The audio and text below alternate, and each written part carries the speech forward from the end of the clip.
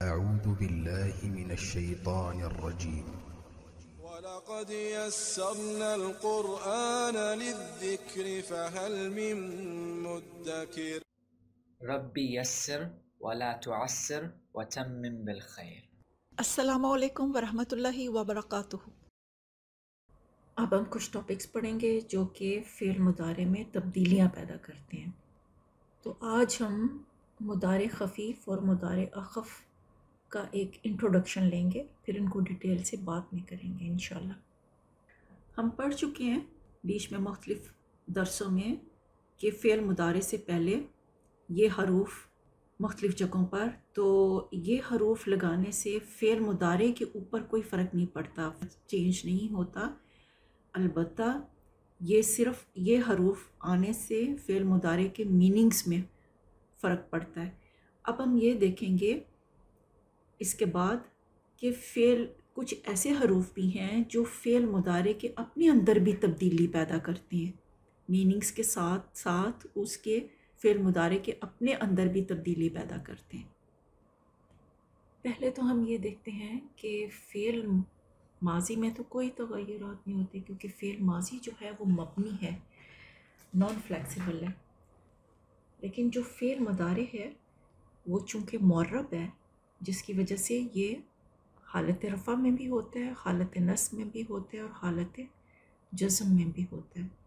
کیونکہ یہ حالت جر میں صرف اسم ہوتا ہے، جبکہ فعل جو ہے وہ حالت جزم میں ہوتا ہے۔ تو ان شکلوں کو اب ہم دیکھتے ہیں۔ کہ جتنے ہم پچھلے لیسنس میں پڑھتے آئے ہیں، وہ ساری گردانیں ان کے عراب حالت رفع والے تھے۔ یعنی اس میں یہ دیکھیں یف الو یف الو یف الو اس میں عرابی حالت رفع کی ہے۔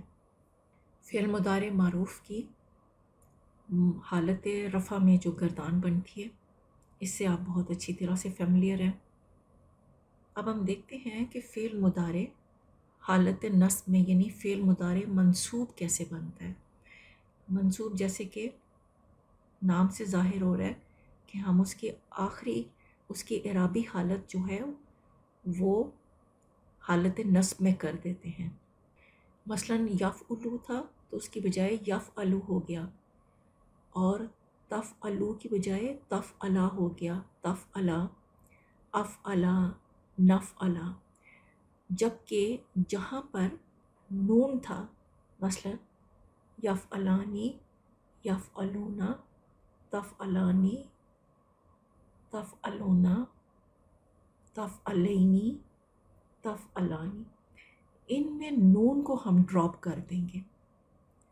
نون ذرا ہیوی ہوتا ہے، اس کی وجہ سے اسے ڈراپ کر دیں گے۔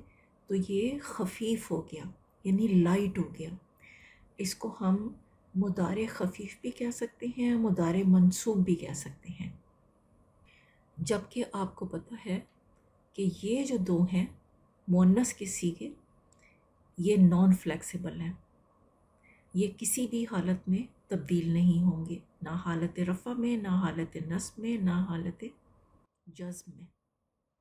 تو اس طرح سے ہمارے پاس مدار خفیف یا مدار منصوب کی یہ گردان آ جاتی ہے۔ جبکہ یہ اسی طرح سے ہی رہتا ہے۔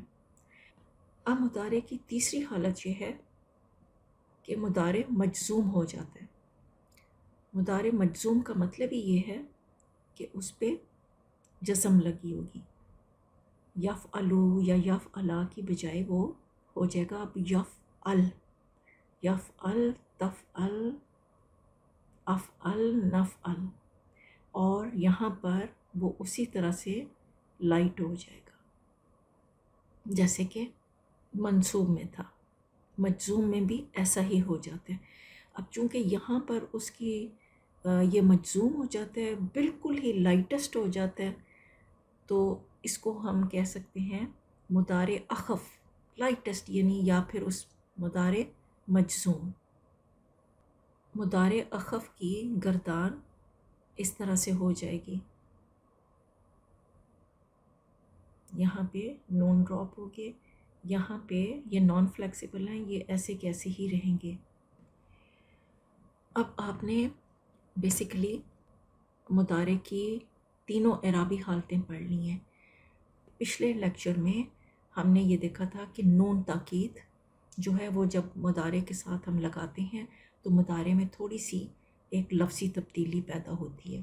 کچھ حروف ہیں جو ہم مدارے میں لگاتے ہیں، مدارے سے پہلے لگاتے ہیں تو وہ مدارے کو حالت نصب میں لے جاتا ہے جن کو ہم حروف نواسب کہتے ہیں۔ اسی طرح سے کچھ حروف ہیں جو ہم مدارے سے پہلے لگاتے ہیں، تو وہ اس کو حالت جزم میں لے جاتا ہے۔ ان کو ہم حروف جوازم کہتے ہیں۔ اب یہ کچھ حروف ہیں جنہیں ہم حروف ناصبہ بھی کہتے ہیں یا حروف نواسب کہتے ہیں، جو کہ مدارے سے پہلے لگتے ہیں اور مدارے کو منسوب کر دیتے ہیں۔ ان کو ابھی ہم ڈیٹیل سے پڑھیں گے۔ یہ حروف ہیں۔ لن، جیسے یف الو اس سے پہلے جب لن لگایا تو اس نے یف الو کو حالت نصب میں کر دیا، اس کی عرابی حالت۔ تو یہ بن جائے گا لن یف الا ایک حرف ہے ان، ایک ہے لام کئی، اور ایک ہے ایزن اور ایک ہے حتیٰ اسی طرح کچھ حروف ہیں۔ جو مدارے سے پہلے لگائے جاتے ہیں، جنہیں ہم حروف جوازم کہتے ہیں یا حروف جازمہ کہتے ہیں۔ جب ان کو مدارے سے پہلے لگایا جاتا ہے، تو وہ مدارے کو اخف کر دیتے ہیں یعنی اسے مجزوم کر دیتے ہیں۔ اور یہ والے ہیں وہ۔ لم یف الو سے پہلے جب لم لگائیں گے، تو یہ بن جائے گا لم یف ال لمہ ان، لی اور لا۔ اب ہم ان کو باری باری دیکھتے ہیں، بعد میں آپ یہ چارٹ نوٹ کر لیجیے، کیونکہ میں نے ان کے پیرلل اس طرح سے چیزیں لکھ دی ہیں تاکہ آپ کو یاد کرنے میں آسانی ہو۔ اگلے لیسن تک کے لیے اجازت دیجیے اللہ تعالی ہم سب کا حامی و ناصر ہو۔ السلام علیکم ورحمۃ اللہ وبرکاتہ۔